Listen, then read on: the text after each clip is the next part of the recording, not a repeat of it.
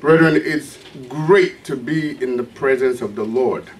When the Lord gives you strength, they say not only would you fly like eagles, you would not be tired, neither would you be weary, because the Lord would have fed you and given you everything that you need in order to prosper.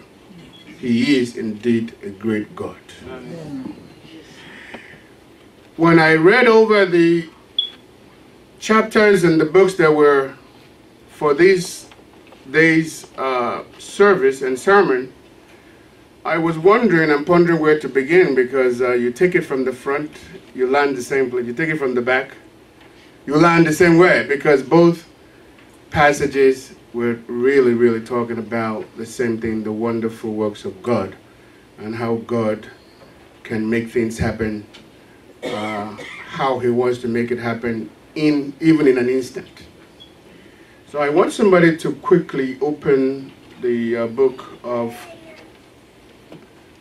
um, First Corinthians. Just read verses 1 to 4 for me. Uh, chapter 2, 1 Corinthians 2. But I determined Go ahead, 1 Corinthians 2. And I, brethren, when I came to you, It says, When I come to you, this is Paul speaking. came not with excellence. It says, I didn't come with, with, with, with vain words or just words to entice you, or of wisdom, but words of wisdom. declaring unto you Yes, the testimony of God. yes, I was, I was here to tell you about God's and His works. For I determined not to know anything among you, It says, it's not, it's not because I want to find out just things that are in your mind. save Jesus Christ and Him crucified. Yes, I just want to talk to you about Jesus. And I was with you in the weakness Thank you very much. I was with you when things were good and when things were not so good. and in fear Yes, and in much trembling. absolutely. Thank you very much. Now go to First Thessalonians. First Thessalonians chapter 2, just the uh, 13th verse. For this cause Yes, also thank we God yes. without season, We want to thank God without stopping because of his goodness, yes. because when ye received the word of God, See, when, when the word came to you of Christ and of, of the goodness of God, which ye heard of us, and you heard it through me, just a mortal person, ye received not ye received it not as the word of man, you didn't regard it as just the word coming out of my mouth, but you regard it as but as it is in truth. as it is in truth the word of God. And because you did so, which effect, effectually Uh-huh. also in you that believe. and as because you thank you very much, because you received it as a true word of God, things happened to you. And not just things happening to you, good things happen to you. Let's now go to Romans 10, quickly, verse 17. Romans 10, verse 17. so then faith by hearing. It says faith. Now, because you've heard this word and you believed, and be- only because you heard, and hearing by, By faith. by hearing by, By the word of God. by the word of God. But I say, Yes, have they not heard? Yes, verily. Their sound went into all the earth. Yes. And their words unto the ends of the world. thank you very much. Faith, the word of God comes by hearing, and hearing by the word. So, what is the word for today? The story is very straightforward. The first uh, book that was read to us, which was Second Kings, number two, right? Chapter two, verses 19 to 25. That's the end. Takes a very simple, a very simple story of Elisha the prophet, correct? Yes. And what did Elisha do? Elisha didn't do anything. Elisha had just disengaged from his master. Now you all know the story of of how Elijah was about to be taken up by the whirlwind. He's only the one of two people that were never buried on this earth, right? And he, he says, "Listen, I'm about to go." But then you notice one thing: everywhere they seem to go to, because Elijah, I mean Elijah was, I guess, hoping that Elijah would simply disappear because he, he had all of these places that he wanted to go to. He says, God has told me to go to Jerusalem, go to this place, go to that place. But Elisha always gave him the same answer. He says, Listen, my boss, wherever you go, I will never leave you. Wherever you are going, I will never leave you. But one thing I was curious when I was reading the chapter is, is, is that whenever wherever they went, there were prophets. A lot of prophets will come to him and tell him, say, listen, do you know that your master is about to be taken away from you today? But everywhere he went, the same prophecy was being given him. Right? And he says, Oh, I know. Oh, I know. Oh, I know. But he stayed with his master. But what we learn from that? As I was about to, before I was to come up to this pulpit, I decided I wanted to use the men's room. And I wasn't even halfway walking there when a prophetess called me. And the word of God is straight like an arrow. There is no doubt about the word of God. But I heard the word of God. The, where I was going before became moot. Because he was first of all there was no time. And second of all, the word of God not only confirmed something that I already saw and prayed about, but I knew God was not doing this to me. You know, so sometimes when you hear the word of God and you say, well, if the word of God is true, whether you see a prophet in Japan, or one in China, the next one in in Afghanistan, the words will be the same. So for Elisha, the words were coming wherever they went. Even in the last stop that they had, the prophets, the sons of the prophets stood afar to see what was going to happen to Elisha when Elijah left. But it so happened when he asked Elijah, you know, Elijah asked him, What will I, what do you want from me? He says, I want a double portion of your. Yeah, the reason I'm, I'm going, I'm going, this is only uh, aside, by the way. He said, But you've asked something very difficult of me, something very hard. He said, But nonetheless, if this happens, which means if you were to see me when I'm being taken up, the mantle in my hands will fall. And so it was. But before they got to this, this, this last destination, Elijah parted the waters, right? Yes. And they went through the water. And on the way back, after Elijah was gone, now Elisha, of course, got the mantle and wanted to test the power to see will this thing work. And it did. And then the, the, the witnesses who were far waiting and watching actually saw it happen. They said, Whoa, the power of Elijah is upon Elisha. But then he proceeded on to Jericho and he waited a while in Jericho, and that's where the first lesson of today basically started. Now, what happened there? The men of the city of Jericho came unto Elisha and said, Well, you know, you, as you can see by yourself, everything is beautiful. As I can see you, you are very well adorned, you are beautiful all before God, everything is good. He said, But on the inside, the water of the city is not as good as what you can see on the outside. So I know that as you sit here, as you come before the Lord today, there's something inside of you that bothers you, that troubles you. But you have come to the right place. You have come. See, the, the men of um, Jericho could have done one thing. They could have gone to their friends and start gossiping. "Ah, which kind? Of, what, what- who is the king self of this village? Who is the leader of this uh, of this town? They're not doing a good job. No, I mean, let's instead of going to the right place to get their problems resolved, they will start telling other people that will only make their problems worse. You don't want when you have a problem, you have a situation, you take it to God. Discussing it and giving it to other people, well, unless you if you have not figured out the right answer, then you will just tell people so that they can either have pity with you or simply just say, oh, well, you've got a lot of trouble, more than I do, or whatever it is that you're trying to receive, but certainly not the answer that you need. But the men of Jericho did the right thing.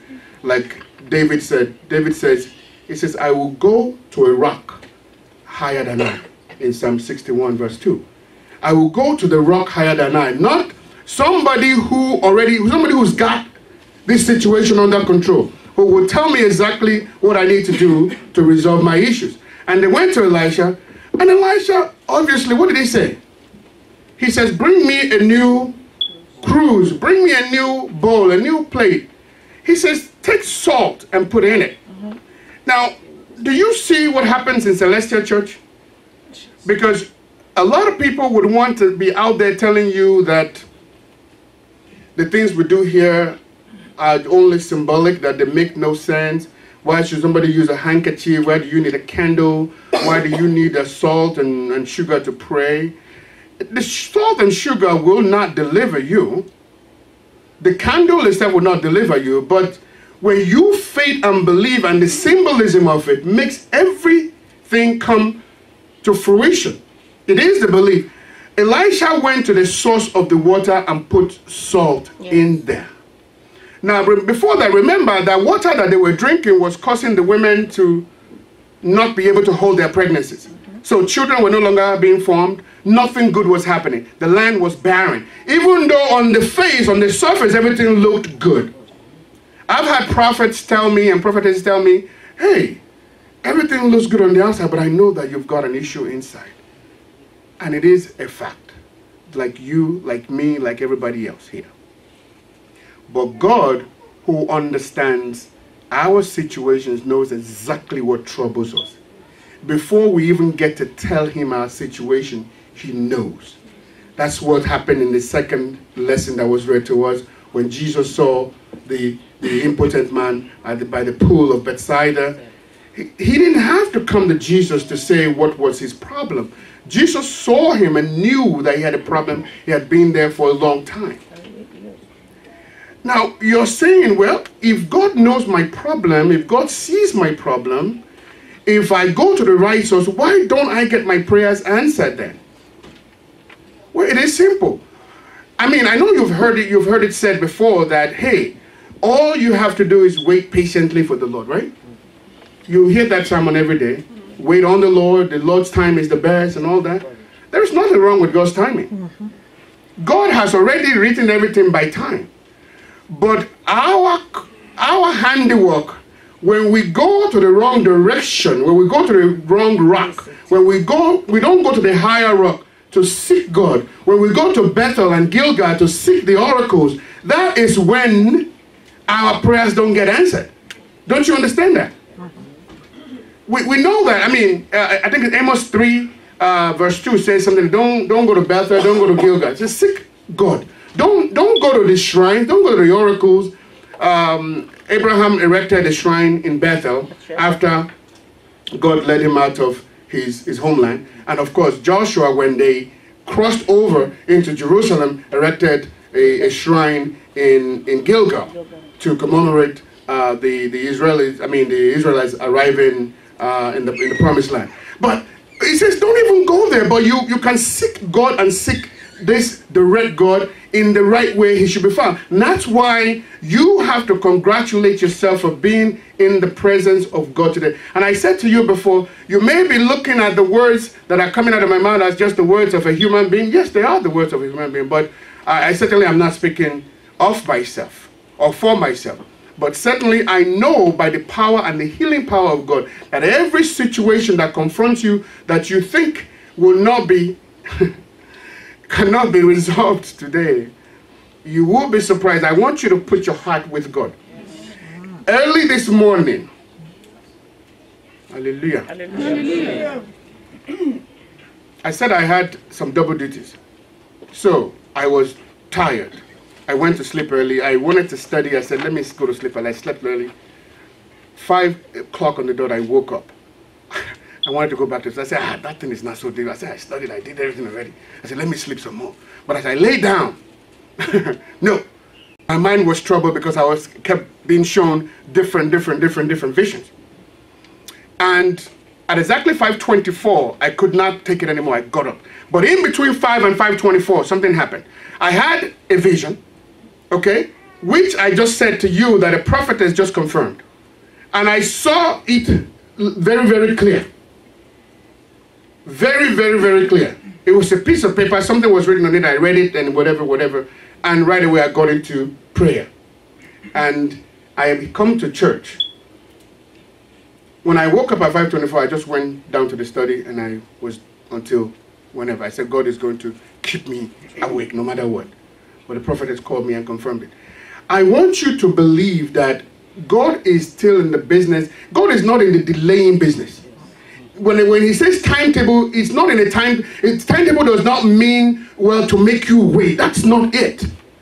If there is a situation that you are asking God for, it has not come t- to true.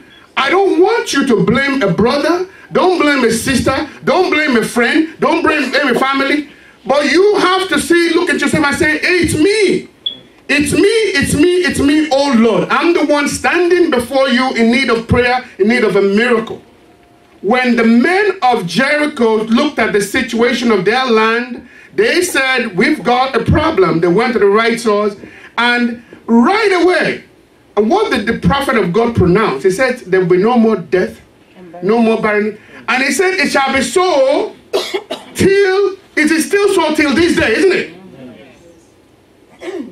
If you don't believe these things, we went. I happened to uh, go on a trip to, uh, with the to the Holy Land, and we went to uh, Elisha's well. The water flows. The water is plentiful. You will look at the land; it's all reddish. There are not too many too many houses packed together. There are not too many vegetation or anything like that. But it's it's it's a it's a reddish, uh, barrenish land. But you see people doing a lot of it. And then you get to this water place and the water is just plentiful and flowing and flowing and flowing and flowing. You wonder, gee, what a miracle. But in the midst of the desert, God can provide anything. And God has made provisions.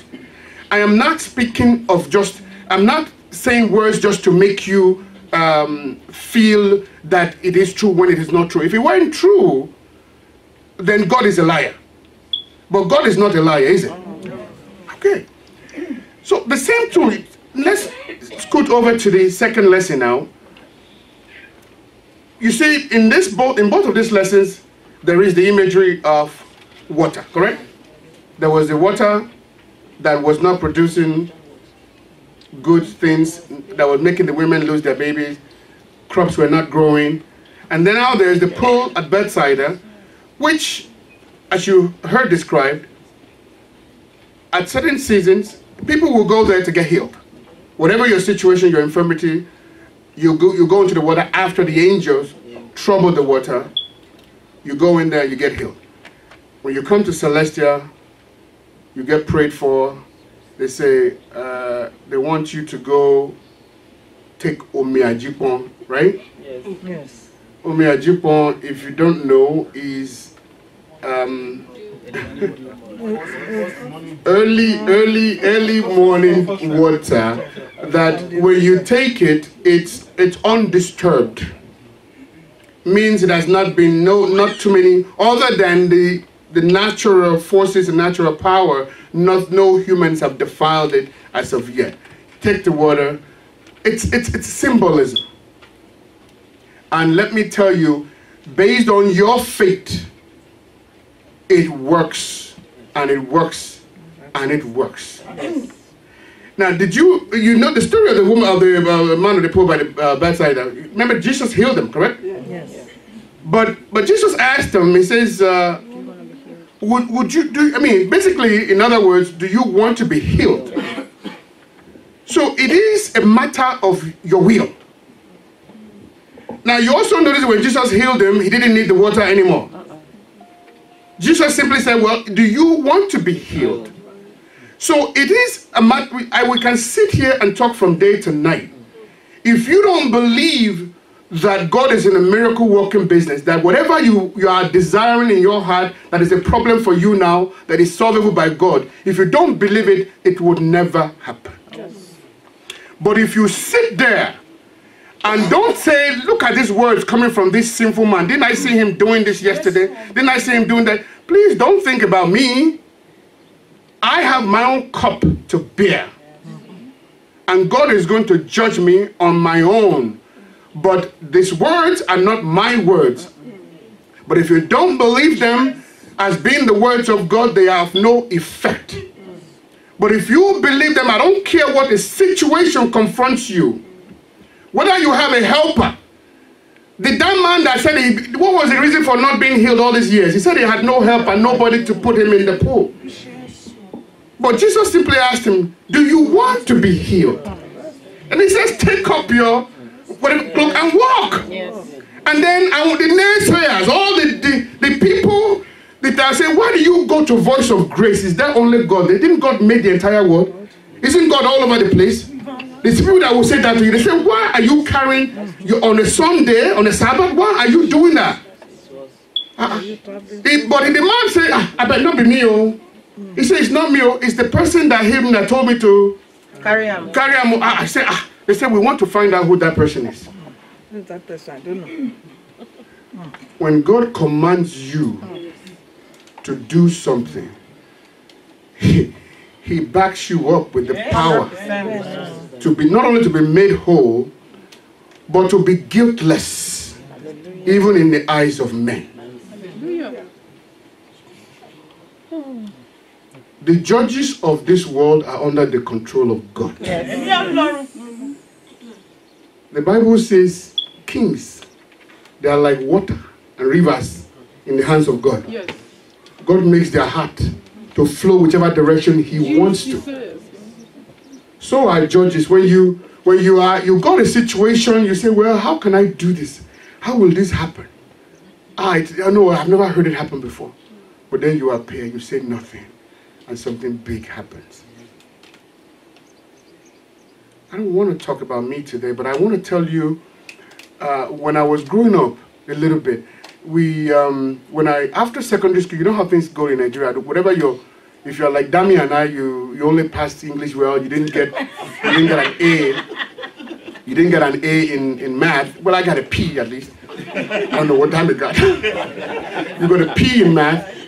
You can still go somewhere. You can still become something. But in Nigeria, if you are not all rounder, you are not fikem bio, you're not good in physics, chemistry altogether, you don't have A's, you are sitting somewhere after school and nothing nothing happens. Unless of course your father knows the finance, the vice chancellor, and the vice chancellor knows the whatever, nothing happens for you. So I was sitting there blowing what they call NFA. No future ambition. JAMB continues to jam So- you. Know, you do JAMB, you do white, you do GC, nothing, G's, nothing. They say there's Odu, you got the Odu.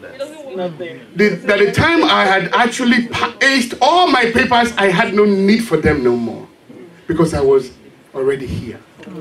But here's what happened everybody I knew had somebody that would help them. That they, well, we had some people, but I just, my spirit just doesn't like going to people to beg or to ask. Uh, It's not because it's, it's not because of pride. It's just not agreeable with my spirit. I- I- in- even in terms of religion, I always beg God. I said, when people preached to me when I was younger, I said, listen, I said, I said, who spoke to you? They said, God spoke to me. I said, you know what? I think I want that same God to talk to me. I think I'm good enough for God to talk to me. So the same way when it came to asking for help, I said, well, somebody help that person. Yeah, okay. God help that person. I- I want God to help me too. I don't want to have to go through somebody. But we went around town, everybody, when you ask them, what are you, ah, kí ló ń ṣẹlẹ̀, kí ló ń ṣẹlẹ̀, what are you doing? What are you, what are you up to? Eh, Ah, mo fẹ́ travel, mo fẹ́ travel. Mo fẹ́ travel was a vocation. I want to travel. Because it was the golden ticket to anything good that you got. But when I looked around, I had no helper but God. God sent a man who was a Jehovah's Witness. We, we, we talked. He spoke English extremely well. He, he, he was an English professor. Very rare for any on those here. On those people don't speak English very well, but he spoke English extremely well. And I loved people like that because I, I wanted to learn from them.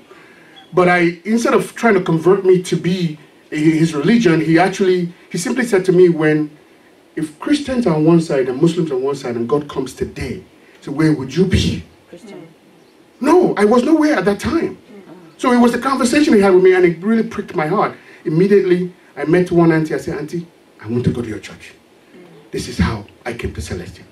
But the, the issue was this I had no helper. And I was praying to God. I gave up most, if not all, of the vices I had. And I had some. I gave them up. I was in, there was no service that I didn't participate in. And even in those services, let me tell you, there were some things that wanted to derail me. but I stood firm and I stood fast. So those things will happen to you, they will happen to me. But God saw me through miraculously when it was not supposed to be. I have friends today that were good friends that have not talked to me ever since because they didn't believe how God miraculously helped me that had no helper. If the infirm man at the pool of Bethsaida was helped by him believing that he can be helped and went to the right source, if you have any situation, any condition, don't dismay, don't despair because you have no helper. Because the Lord is your helper. Amen. Hallelujah. Hallelujah. Hallelujah. Hallelujah. For yet, Hebrew 12, uh, 18, 22. For ye are not come unto the man that might be touched, and are born with fire, nor unto blackness and darkness and tempest. But ye are come unto Mount Zion, unto the city of the living God, the heavenly Jerusalem, and to an innumerable company of angels, to the general assembly and the church of the firstborn, which are written in heaven, and to God, the judge of all, and to the spirit of just men made perfect, and to Jesus, the mediator of the new covenant, Yes. and to the blood of the sprinkling that speaketh better things than That that of of Abel. Abel. Amen. Amen. Thank you, my brother. Let your conversations be without covetousness, and be content with such things as you have, for he had said, I will never leave thee, nor forsake thee, so that we may boldly say, The Lord is my helper, and I will not fear what man shall do unto me. Amen. Amen. Amen. Psalm Amen. 55, 22. Cast your burdens, Yes, unto Unto Jesus. Jesus. Yes. for he cares for you. Yes. Sure. I don't want you to fail in the moment of temptation. And what are the moments of temptation? The moments of temptation, things will get so hard. And you start wondering, oh, is this possible? Is that possible? there is nothing, and I say absolutely nothing impossible with God. Yeah, no. You don't, you are not alone in your situation. You are not alone in your condition.